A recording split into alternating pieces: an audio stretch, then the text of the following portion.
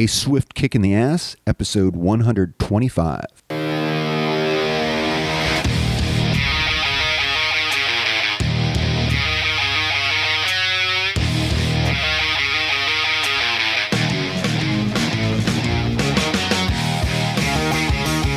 Life is challenging and difficult. No one gets out alive. Time to suck it up, Buttercup. Get ready for a monster sized boot aimed to help you get traction on personal change and get living. I am John Curran, your host. Join me as I share my journey exploring the forces that motivate us to change and help us get through whatever life throws at us. A swift kick in the ass. Life on your terms.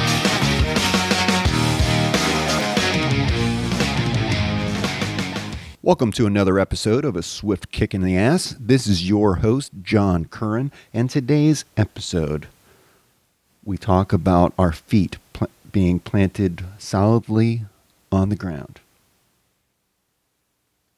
So, this podcast is really about disrupting conventional thought.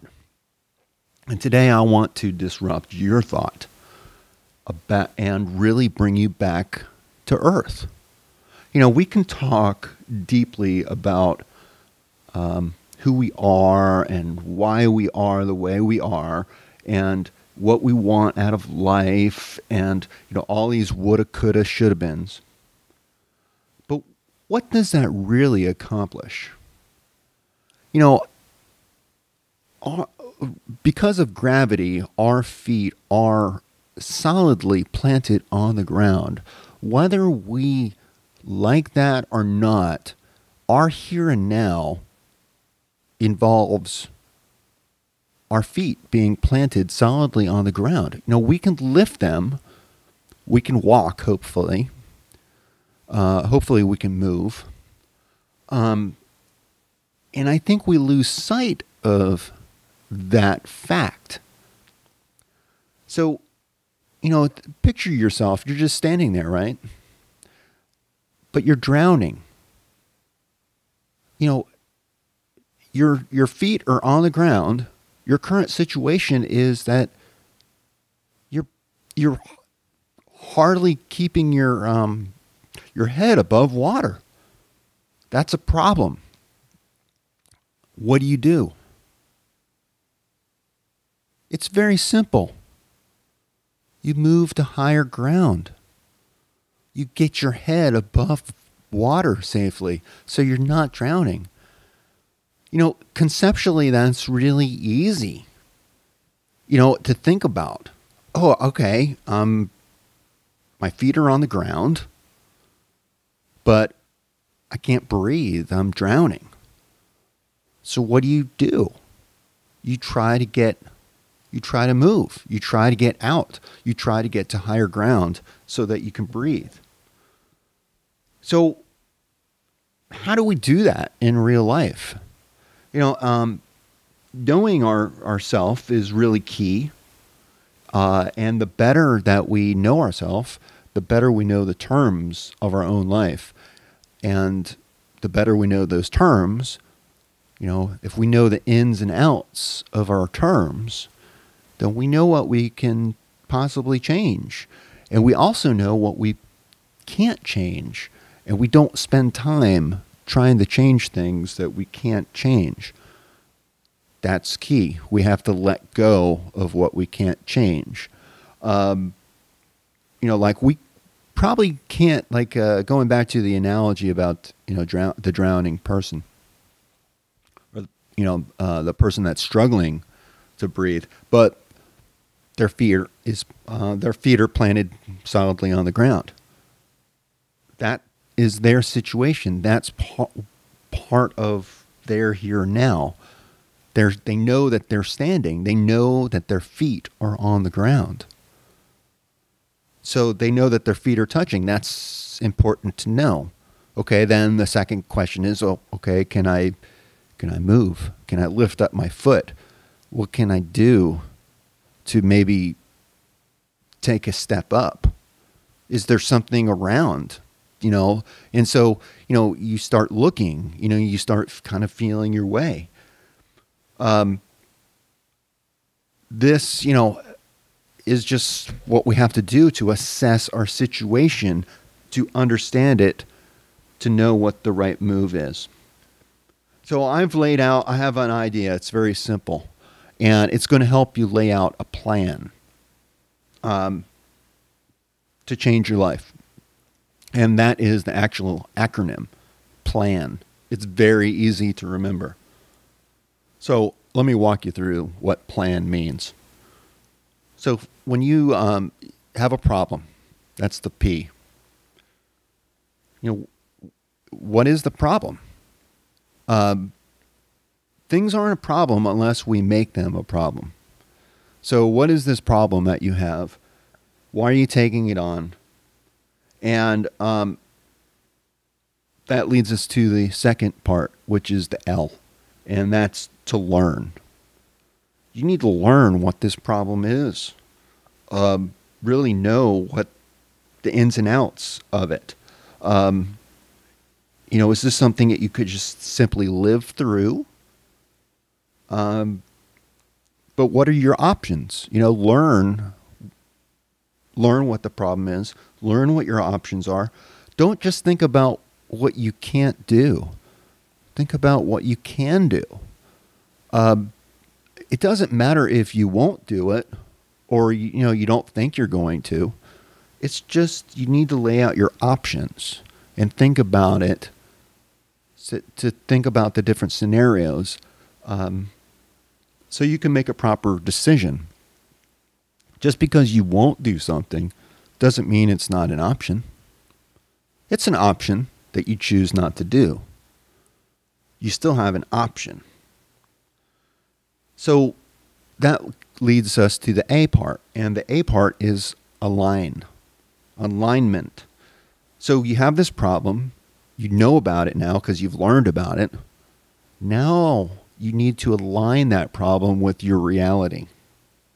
So perception is everything. And you know, if it's not a problem, we're not going to think of it as a problem. Maybe it's not even on our radar. But problems are typically on our radar because we see it as a problem. We define it as a problem. Um, and that's where the next that next step is. We're learning about it. You know, you might think you have a problem, and then as you're going through this learning process, you realize, you know what, this really isn't such a problem. It's really an opportunity to do something better. Um, you know, in my case, right now, I'm having to possibly look for another job. And that is really scary. So that's a problem that I have. I've been working for corporate America for over 20 years, and looks like my job will probably be eliminated again. So that's a problem, right? That's something that I'm facing. My feet are firmly on the ground. It's not something I need to move uh, on right away. It's probably three or four or five months out. But, you know, I want to be strategic about this. Um, so I'm learning about it. And I'm going to have to learn and live and learn to see what some of these options are. So right now I'm in process of aligning um, my you know what I think in my head with the reality. Um, and I'm also in the process of um, creating some goals and figuring out like some metrics. Um, now that sounds kind of boring, and you're probably scratching your head, like thinking, "What is John talking about?" Basically, I want just want to define my goal so that I know, you know, that I'm there, that I've reached whatever I'm trying to accomplish. That's the end part of the plan. That's to know, basically, that what you're doing is having some impact. Um, takes you back to the P. You know, this is still a problem? If so, learn more about it. Try to align you know, what's in your head with the reality of it. And then know and take action. Um, know that what you're doing to to get yourself above ground, you know, to get, to get to higher ground, is working. It's um, it's a real simple concept. It's much more difficult in uh, practice, but in order to make this easier, if you have a problem and you need to solve it, then every step you take, and when I say step, I mean decisions that you have to make um, that will come up, ask yourself a simple question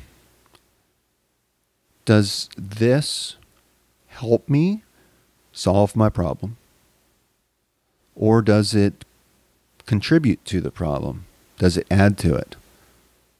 Or maybe it's neutral. Maybe it doesn't doesn't matter, doesn't doesn't factor into the problem at all.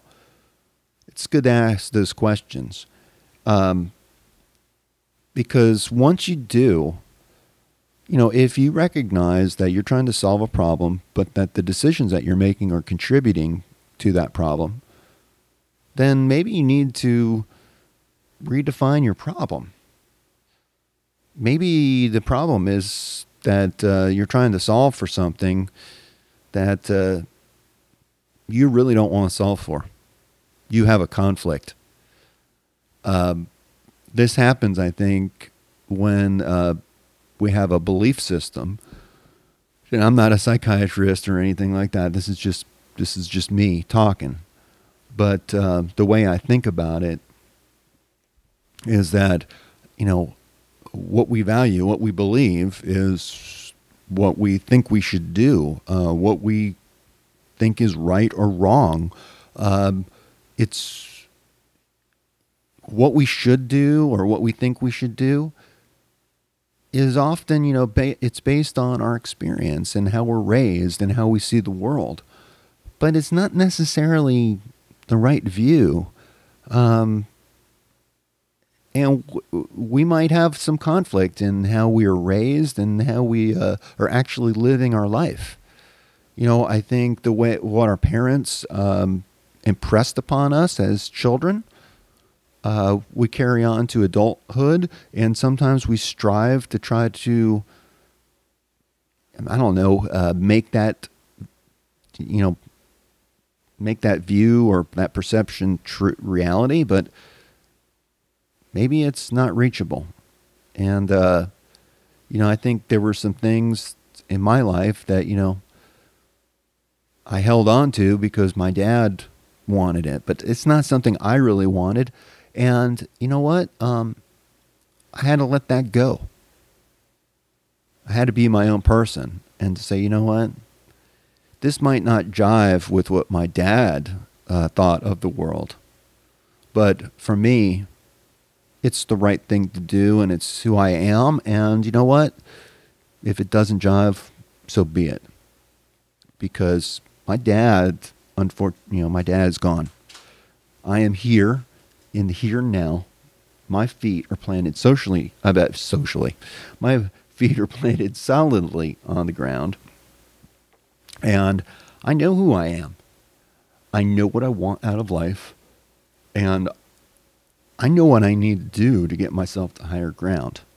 And I am going to do everything possible to do what's right for me and my family. So if that involves kicking a few asses, if if that involves changing my life, um, I'm going to do it. And I hope this motivates you to take on the problems in your life and start kicking their ass and create some positive change so that you live a better life on your terms. So that's it for now. This is John Curran, your host. This is a swift kicking ass, your podcast. Until next time, peace.